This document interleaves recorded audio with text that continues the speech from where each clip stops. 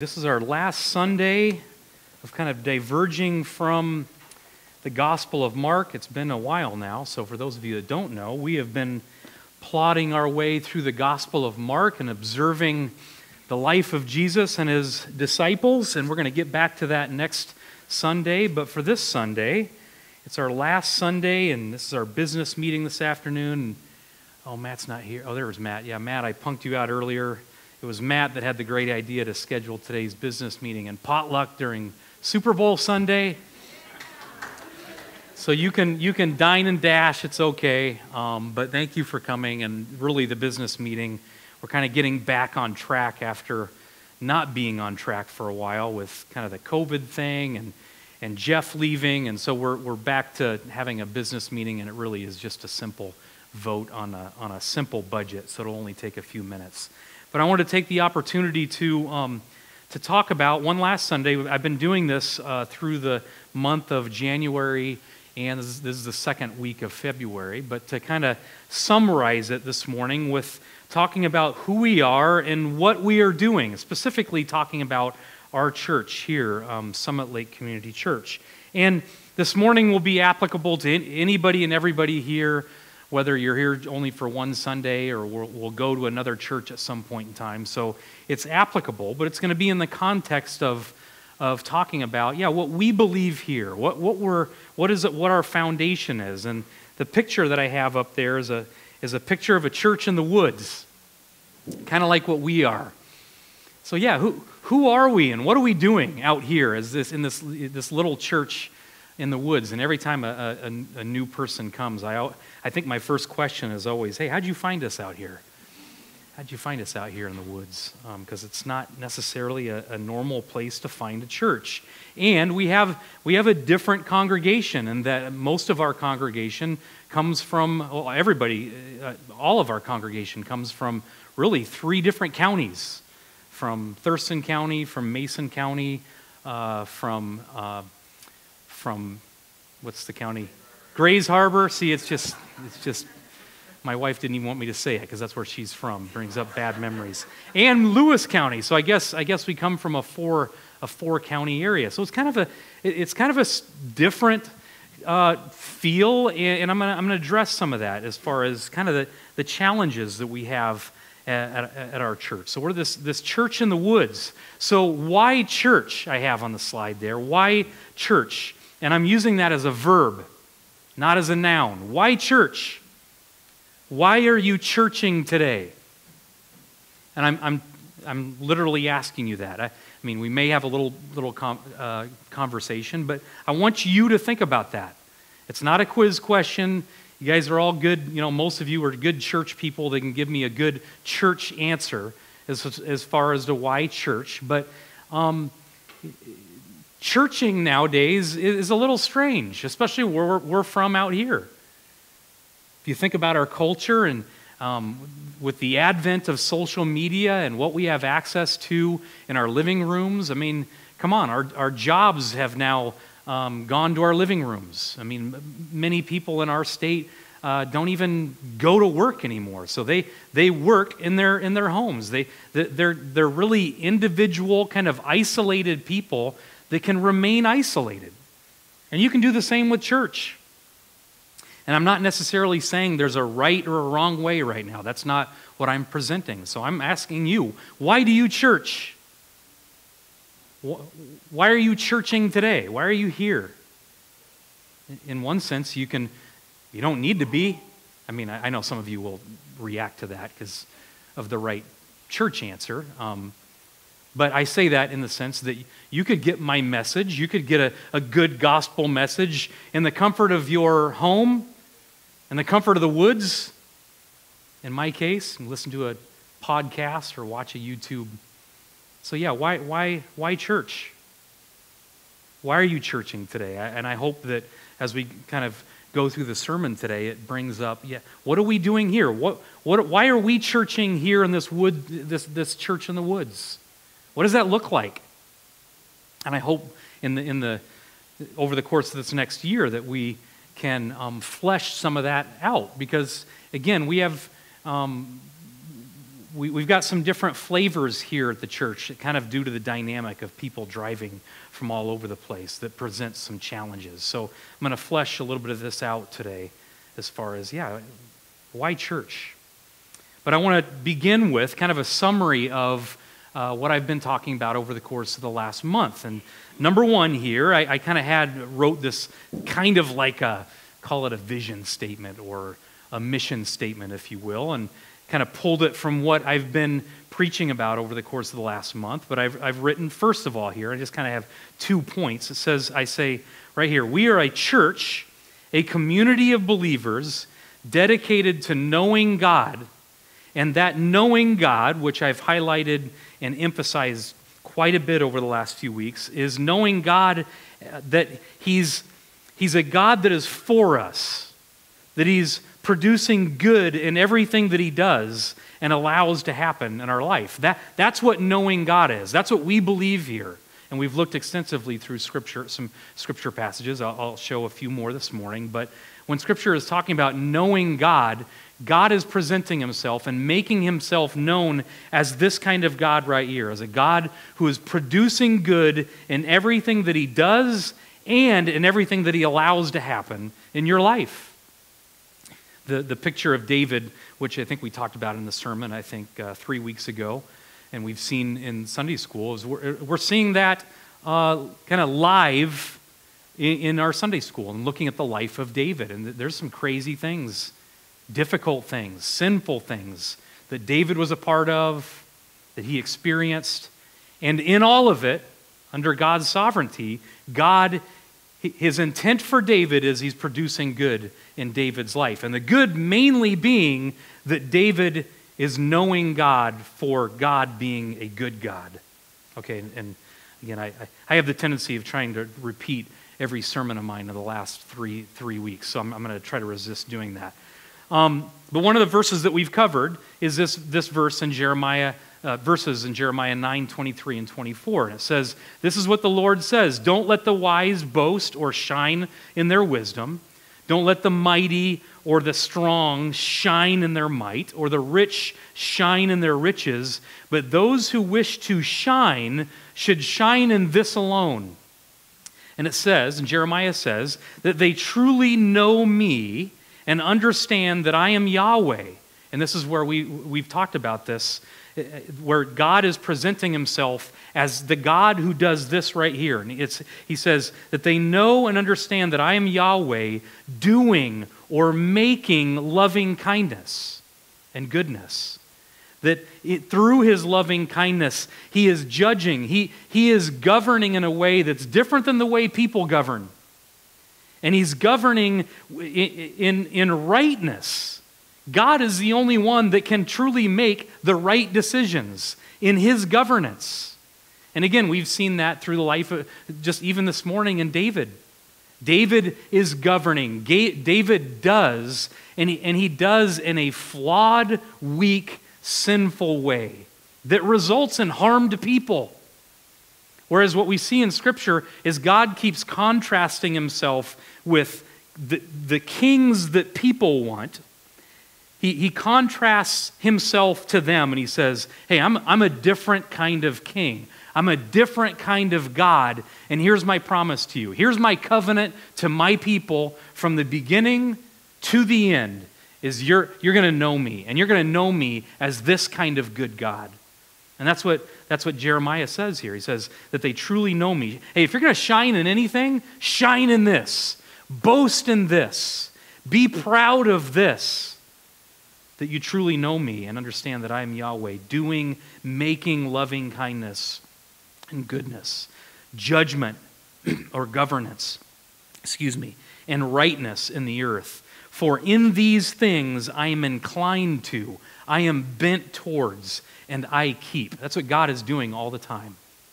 He's functioning out of his, his, his loving kindness, his rightness, and his good governance. So that, that's the knowing God piece that, that, that we are about here at our church.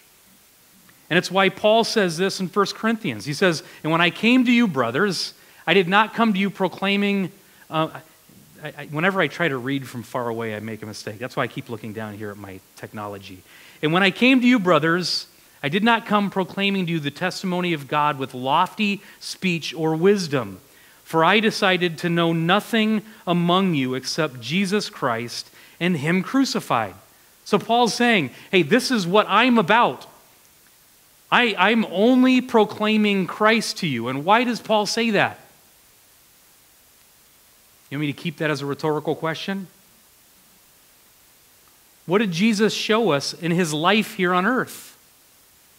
The goodness of God, the loving kindness of God. The words that we just saw in Jeremiah, we see played out in flesh in the life of Jesus Christ, the Messiah, Emmanuel, God with us. God with us. He was God with them. So Paul says, hey, I, I, and Paul knew a lot of things. Said before, Paul would have been the in resident expert. He would have been the subject matter expert. You get those of you that in the military we call them the SMEs. The SMEs. The subject matter experts, okay? Paul was the subject matter expert on normal human righteousness, on how to live according to the letter of the law. He even said, I did it perfect, according to the way that Paul thought. And he says, Nope, I'm throwing all of that away. It's rubbish, it's trash, and now I'm presenting to you that I don't know anything except Jesus Christ and Him crucified. So, this is the knowing piece that we're talking about. And Jesus says, and now this is eternal. This is, this is perpetual. This is continuous life, that they may know you, the only true God, and Jesus Christ, whom you have sent. This is why I, have used this quote from J.I. Packer that says, We never move on from the gospel. We never move on from the good news. We just move on in the gospel. We move on in the good news. And what, what I'm seeing from 1st and 2nd Samuel to the Psalms to Isaiah to Jeremiah, all the different stories and passages that we've covered, especially over the last six months, is it, it's all merely a proclamation of the good news of God.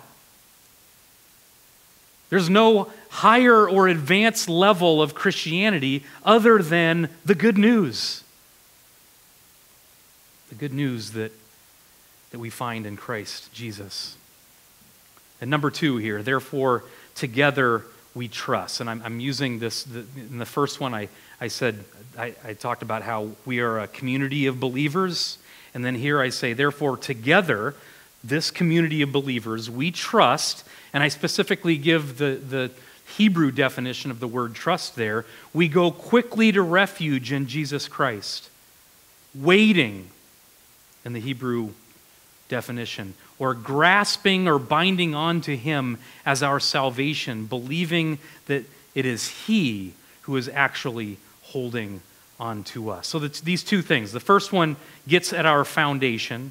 So the foundation is that, that we're dedicated to knowing God, that knowing that He is this, this good God, producing good in everything that He does and allows to, to happen to us. That's kind of the foundational piece. And then this the activity piece or the action piece is, is, is what I'm getting at here in, in, in, number two. That in any activity that we do at our church, whether, um, whether it's cleanup day at the end of March prior to Easter, whether it's helping clean up at the church, whether it's having a business meeting, whether it's helping clean up um, after, after a potluck. Uh, uh, if, it's, if it's a ministry we decide to, to develop and be a part of here at our church, it, all of that is with this idea that what we're doing in that activity together is purposefully going quickly to refuge in Jesus Christ.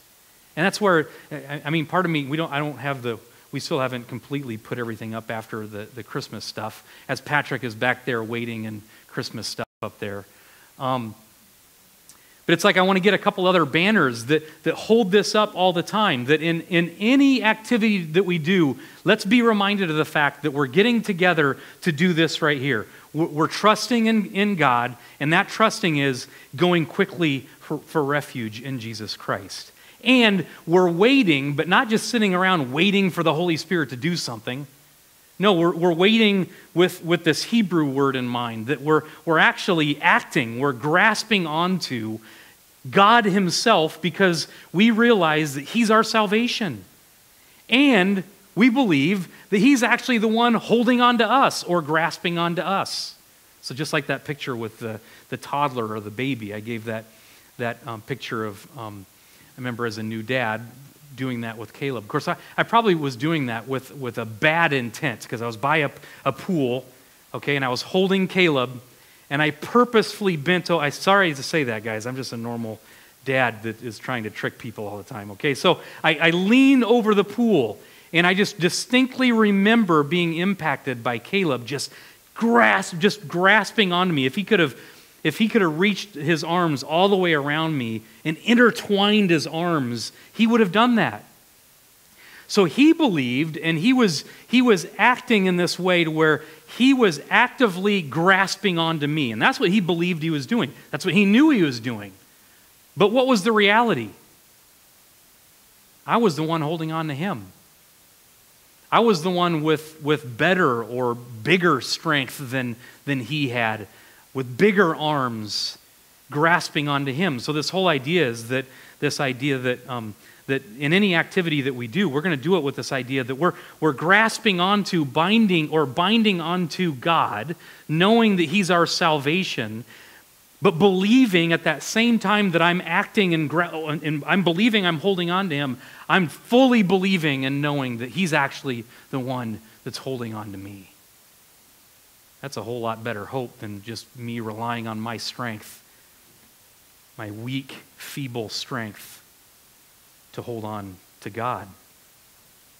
And so Psalm 25 says this, and I, I just, this, this psalm has impacted me, or this particular verse has impacted me, where it says, Indeed, none who wait for you, and again, that's that Hebrew word, none who bind together, perhaps by twisting, who bind together to you, that's God, None, nobody who does that will be put to shame, or nobody who does that will be disappointed.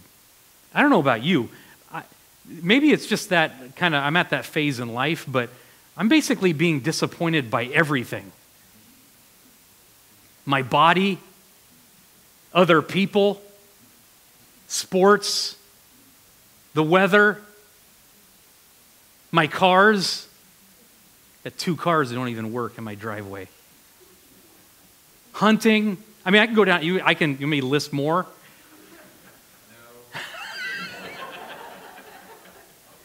but it's providing me this clear picture that I, I hope, like with a little h, I hope in so much in this life. And I'm trying to, I'm trying to get something. I'm trying to extract encouragement, hope, um, prosperity, you name it. I'm, I'm trying to get stuff out of this life, and that's normal. And it keeps disappointing me.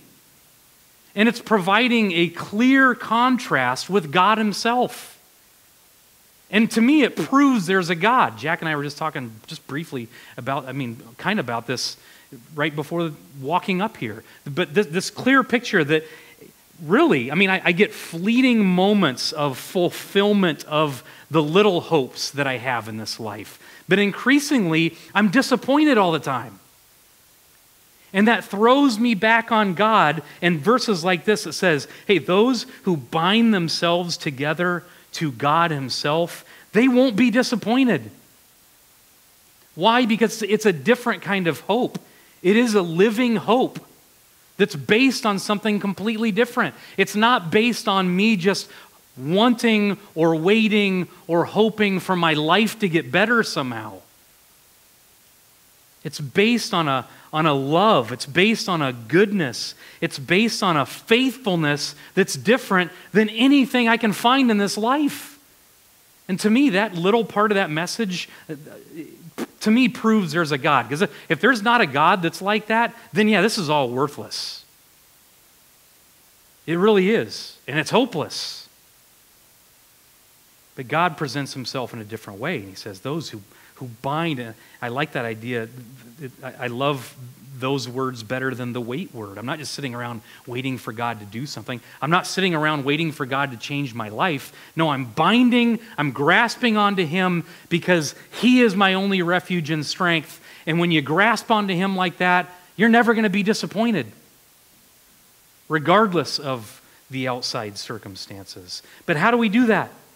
How do you grasp onto Him? Again, it's kind of, we talk about these things, especially these, these spiritual ideas with kind of physical pictures, but yet, yeah, how, how do you do it? And it's, I, I keep on thinking it's very simple. Hebrews 10 23 says, Let us hold fast to the hope that we profess without wavering. So this, this is in the Greek, but it gives the same picture of holding fast. And what are we holding fast to? What do we, what do we, you know, we can, I can say we're holding, we're grasping onto God because we, we believe that He's our salvation, He's our refuge and strength. But Hebrews says, let us hold fast to the hope that we profess without wavering. And what is the hope? I mean, we, we can list a lot of things out of that hope, but he says, For he who promised is faithful. Again, I'm not just hoping I give you, I've given you guys the picture before. I love snow. There's another disappointment. We've gotten no snow this year. Yeah, thank you, God. The thing I love the most, God could just give us a few days of it, right? And He doesn't. See, I'm blaming God for it. You know, I'm, I'm, i hope that it snows tomorrow, or I hope that it snows next week. That, that's a totally different kind of hope that we're talking about. And Hebrews is saying, hey, let's hold fast to the hope that we profess to have without wavering. And what's the hope that we Christians profess to have? It's we believe, we have a hope that it's God who promised us something is faithful. Stop crying, Ronnie. He's faithful to fulfill that promise. And it's these hopes that I keep showing you that just keep blowing my mind. That's what I keep telling you. The good news just keeps getting gooder. I'm not dumb, Charlie. I know that's bad English. I didn't know the difference. Oh, okay. That's right. You're from Chehalis. Jeremiah says, But this is the covenant I will make. So, this is the promise that God gives from the beginning, in the middle, and to the end. He says, This is the covenant I will make. Because we think covenant, you know, even in the psalm passage that, we, uh, that Matt read earlier, it says, Those who keep my covenant, and then it gives, it says whatever it said at the end. Well, not, um, I forget what it said, but those who keep my covenant. And again, in my mind, I keep thinking that goes right to this obedience stuff, like fulfill, being obedient to God. But at its core, the covenant is this. This is the covenant I will make.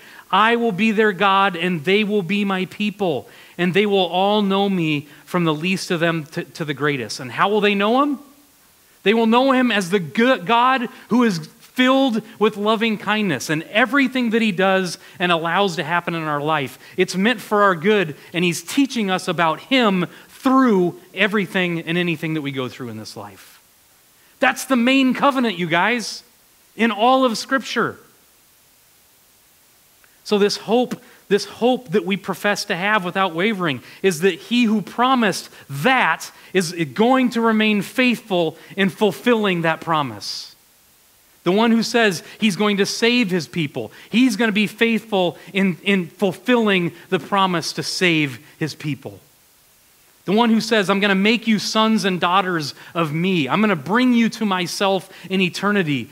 He's the one that's going to fulfill that promise. So, Hebrews, it's a it's, it's a phenomenal passage where he says, We hold fast to the hope that we profess. What's the hope that we profess? That, the, that he who promised is faithful to fulfill his promises. It's not my promise to God, it's God's promise to us. And says, like I said, this is the covenant I'm going to make. I will be their God and they will be my people. It's the same words that he gave to Moses and the Israelites prior to bringing them out of Egypt. He says this over and over again throughout Scripture. I'm going to be their God, they will be my people, and they are going to know me as the good God who intends loving kindness and faithfulness to my people, from the least of them to the greatest. This is part of it Genesis chapter 28, verse 15. Look, I am with you. I will watch over you wherever you go, and I will bring you back to this land, for I will not leave you until I have done what I have promised you. This is God's promise all the time. I'm with you, I'm for you, and I'm going to fulfill my promises to you. And you are going to, I, am going to persuade you, I'm going to cause you to know that I am good. Not just from an authority, I say that all the time. I don't know why I feel compelled to say that. Not just merely from some authoritative standpoint, like, okay, you're finally going to know the right information. No, you're going to believe it. You're going to believe that God is good and that everything that you've gone through in this life has been with the purpose of God teaching you about Himself. Isaiah 41 says, For I am the Lord your God who takes a hold of, who fastens myself to your right hand and says to you, Do not fear, I will help you. It's part of His promise.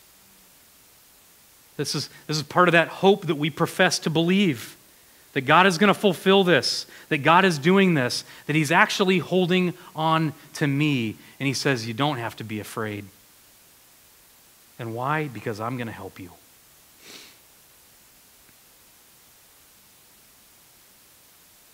So that's kind of the foundation. That's the, that, that's the, those are the, the simplistic, big ideas of, of, of what we believe regarding our foundation as a church and the basis for any activity that we have. So let me try to bring this home. Um, and this made sense in my head when I was thinking about this last night uh, and this morning, especially. But um, what does that look like in, in this little church in the woods? Because everything that I've said so far can be very meaningful, it can be impactful, it can be life changing um, for all of you in an individual kind of way. You, you can go home and never come back to our church and, and believe these things and, and benefit from them. But how, how does this tie together in, in kind of this idea of, uh, uh, of a community of believers?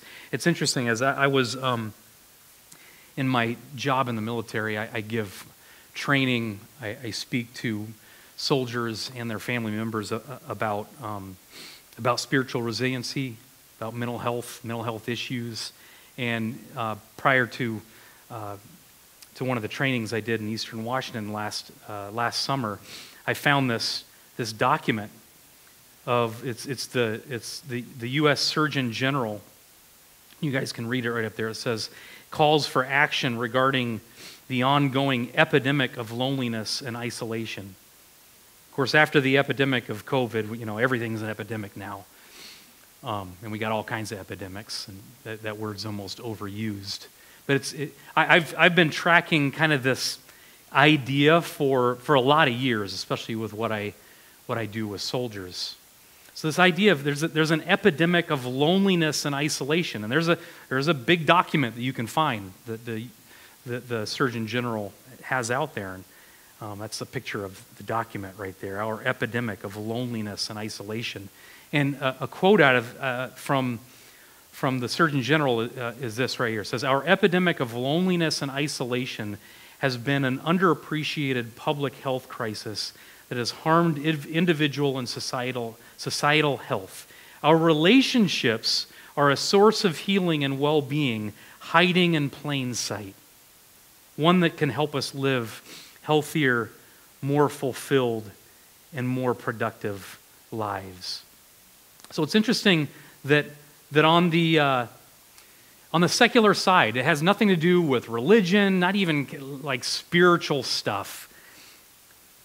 Regular secular psychology is coming to the epiphany that relationships and connection with other people are actually is actually something or are things that provide healing and benefit for people. that when left isolated and alone, and, and, and I don't mean that like from a literal standpoint, because what's happening in our society, and you can, you can just, I, just ask me if you want other quotes and documentation, but what, you, what you'll see is there's a lot of things written right now that are talking about how people, like you're a bunch of people that are, you're not, you're not uh, isolated and alone right now, right? You're, you're with a group of people. But yet, this same group of people, there are, there are those of you within this group of people that feel like you're isolated and alone in your heads. And that's what's happening in society. That despite the fact that we're connected with all kinds of things, especially with social media right now, and allegedly we're, we're more connected to people than we ever have in, in, in the history of mankind. But yet, what, what what psychologists are finding out that we're more iso- people are more isolated and alone than they ever have been in their lives as far as their feeling and what they're experiencing so what's that have to do with church what's that have to do with activity what's that have to do with our church the dynamic in our church before i know there's at least two people here that read ahead i found out in sunday school so i'm I'm, I'm not showing that scripture passage. But what's interesting in our church and the dynamic that we've had here is that because of the, the seminary that the training that I've received, that Jeff had received, we both went to the master's seminary. There, there has been this belief that people that usually um, are, are able to find this church in the woods through the master's seminary website, and there's a belief that, that we preach the gospel here, that we have that there's good teaching that they can find here. And there's, there's this interesting dynamic that I've found um, with, and, and I'm, I'm part of this, so I'm not, this isn't meant as condemnation. But what, we've, what I've experienced at our church is that typically, and I, I should say include with this idea of like fundamentalist conservative Baptist churches, is that typically there can be a, uh, an aura of isolationism in, in the individual families and people, in that, that, that people have a very passionate view of what the gospel is and what teaching and preaching should be. And, and they're the, in essence, the little authorities in their life that determine what teaching and preaching that they get. And they're very isolationists in their activity. And because we're a church in the woods, we typically just have our activity in which we, we meet on Sunday mornings. And, and, and there can be this feeling of like we're a community of believers, but not really. Like we don't really know each other. We live far apart. We don't have other typical ministries, which again there can be good ministries, obviously, good programs that churches do, but we don't we don't have any of those. And so we've always kind of been battling this um, like connection but disconnection within our own church.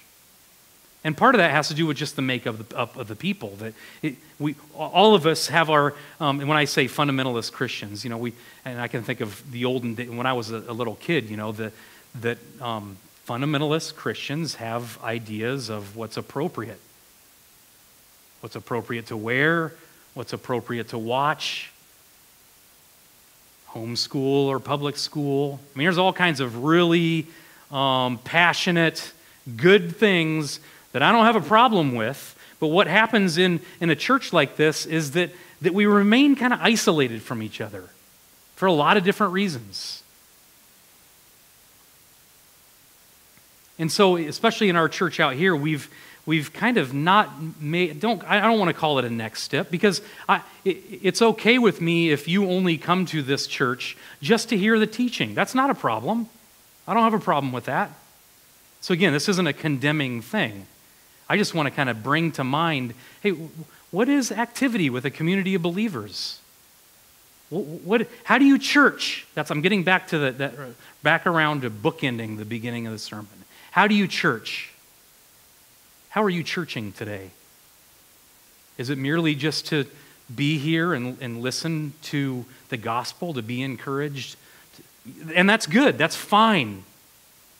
But is that all that church entails? I want to present to you or read to you another passage in Hebrews. It says, Let us hold fast. This is the, the, the whole passage of that, that um, the verse I read earlier. It says, Let us hold fast to the hope that we profess without wavering, for he who promised us, or he who promised is faithful. So we've, we've already covered that extensively with great passion. So we believe that, that God is going to fulfill his promises to us. So that's the foundation. But then look at how, how the writer of Hebrews talks about the activity that comes as a result of that. So he says, Let us, and this is, he's talking to a community of believers, a group of people that aren't just isolated in their, in their couches at home. It says, Let us consider how to stir up one another to love and good deeds. Let us not neglect meeting together. I know some of you good church people would have said that earlier when I said, Hey, why do you come to church? Well, Scripture tells us to not neglect meeting with each other. So that's why I'm here. Well, is that good for you? I, I, sorry, I can go. I can go down along um, tangents with that. So you're just going to meet together because it says meet together? There's a purpose to it. There's a reason for it. And it says, hey, th- let's not neglect meeting together, as some have made it a habit, but let us encourage one another, and all the more as you see the day approaching. So, again, how do we church? Again, whether you go to this church again or not, this, this applies to you no matter where you're at. You can remain in your living room and listen to good teaching. You can be a Christian that's holding fast to God. I'm, I'm, no, I didn't ask you a question. Um, see what technology does? Sorry, they, my, Siri or somebody was answering me on my phone. Um, oh, shoot. Completely lost my train of thought. Let us hold fast the hope that we profess without uh, wavering, for he who promised is faithful. Let us consider how to stir up one another and to love, to love and good deeds.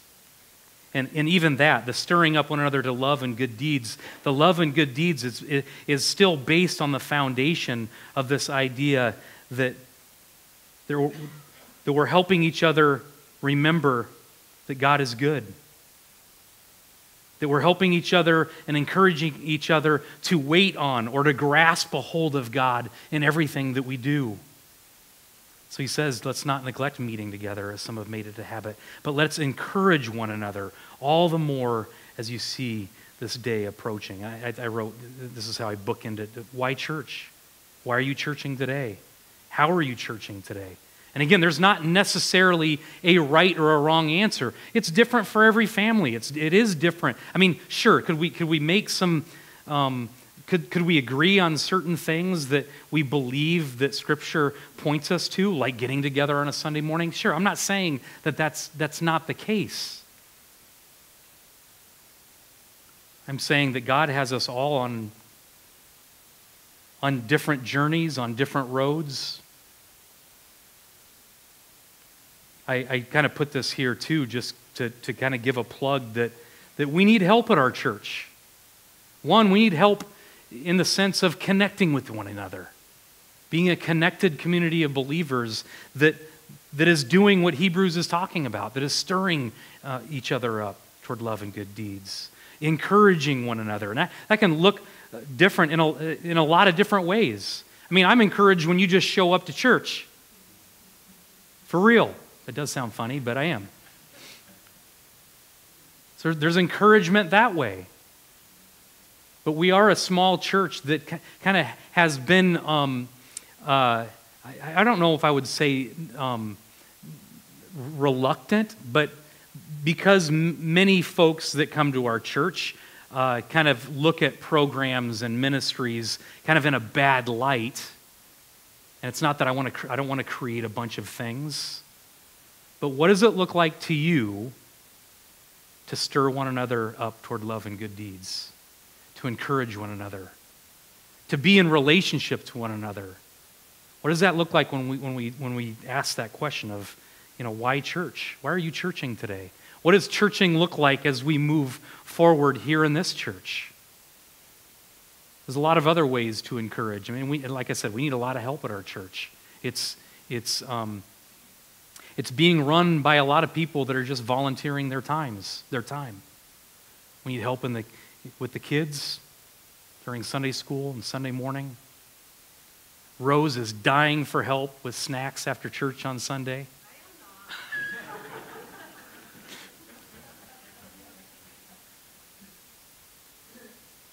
you each have your own likes or passions as far as where God has, um, how God has shaped and formed you, as far as um, giving you compassion for certain people. That perhaps we, we could be a ministry, we could, we could be encouraging and, and having purposeful activities in some kind of outreach. But again, I'm not one just to create outreach to create outreach. I want to do something that's organic to to us as a community of believers. I want, I want to be able to meet a need of people who are in need. What does it mean? Why do we give money to church? Is that part of churching? What do we do with our money here at this church? And part of these, part of the reason why I'm just throwing this out here is because I, I want to tackle this, you know, over the course of the next year. Um, just to, and, and I'm almost done. Just as a brief, tiny history. Um, after COVID, uh, and then after Jeff and the Pierce family leaving, we didn't know if we would be able to stay functioning as a, as a church. As far as we didn't know if we had a viable group of people that we could maintain uh, this church financially uh, and otherwise. And what has been really encouraging to see is that we are able to do that. There are people here that believe that you're part of this community of believers in whatever way that looks to you. We're able to continue to, to fund the building, to fund our activities. And is there more? And what does that look like here at this church? So, as we kind of end the sermon today with this slide up that says, Why church? Why are you churching today? I, I wanna, just want to leave you with that. What is church to you? How do you understand it? I hope it can be challenging to you in a way. How are you involved? There's so many people that leave our church, and, and that's okay too, but they leave because they're looking for something else. They're looking for some kind of connection. They're looking for some kind of, maybe it's something for their kids. But consistently, we haven't had people that said, you know what? Here's what I think I want. Here's, here's what I think is appropriate activity in the church. How can I be a part of that here? How can I be a solution to that? And maybe you're a solution to that in a different church, and that's okay too. But um, I've been encouraged. I've been encouraged by uh, the scripture passages that we've been in. I've been encouraged with, with just looking at, uh, again, the, our, our, our foundation, just kind of re looking at uh, what we believe is our foundation, and, and then what drives our activity. So I hope that's encouraging to you.